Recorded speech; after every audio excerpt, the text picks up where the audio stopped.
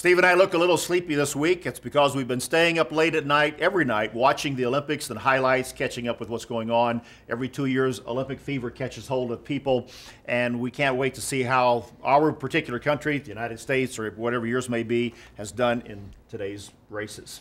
It's an exciting time. They're coming to an end now, the second week, and everything's focused on track and field. And most of those events all revolve around who's going to get to the finish line, who's going to uh, run that race. And amazingly, they all seem to focus on that finish line. Whether you're rowing or whether you're a BMX biker or the 100, the 200 meter, it focuses on finishing that race and doing the best you possibly can. And the marathon is coming up on Sunday. That'll be the last big race, big event of the games, and then they'll have the closing ceremonies. Track and field seems to be the core of the Olympics. That's where it all started uh, thousands of years ago in Greece. And even the Apostle Paul caught a bit of the Olympic fever or the Games fevers in his day when he wrote uh, several times allusions to running the race, finishing our course as a Christian, and fighting the good fight of faith. In 2 Timothy 4 and verse 7, he said regarding the end of his life, I have fought the good fight, I have finished the race, I have kept the faith.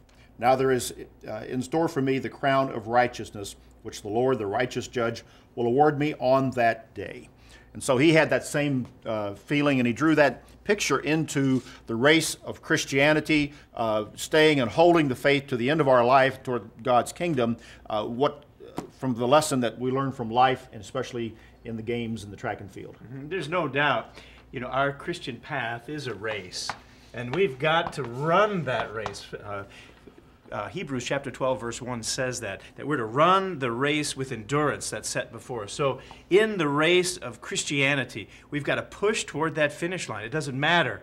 Like one of the athletes had a broken leg, uh, and he finished the race. He pushed on. We've seen tremendous stories of people working against the odds that continue to push themselves so that they can finish the race. So many of the athletes come to the games just to compete, knowing they have no chance for a medal. Uh, I was uh, struck by the woman from Saudi Arabia who became the first woman to run in a major race like that, and she was running with her head covering on, but she competed, as so many of them do, coming for whatever the event may be, to represent their country, to compete in the games, and to uh, participate. Yeah, 1 Corinthians 9 it actually says that. We run that race, run it as though you're going to obtain the prize. And of course, when we look forward to the ultimate prize of being in the kingdom of God, that's the goal. Let's never lose sight of that. That's BT Daily. Join us next time.